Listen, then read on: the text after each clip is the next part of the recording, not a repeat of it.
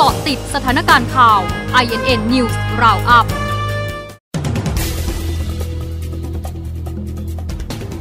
นาฬิกา7นาที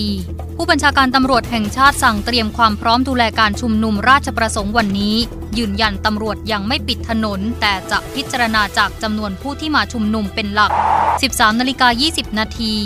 นายแพทย์ระวีแนสภามีมติให้ทำประชามติถามคนไทยทั่วประเทศก่อนว่าจะให้แก้รัฐธรรมนูญหรือไม่ เพื่อลดความขัดแย้ง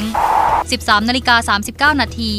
ผู้อำนวยการสนควิเคราะห์เลือกตั้งสหรัฐหากทรัมป์ชนะอ่านเกมง่าย เชื่อใช้นโยบายเดิม สงครามการค้าอย่างไม่จบ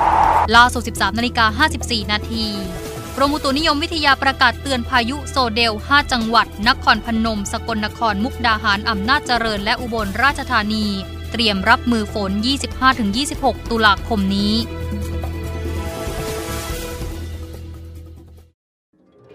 เกาะติดสถานการณ์ข่าว INN News Roundup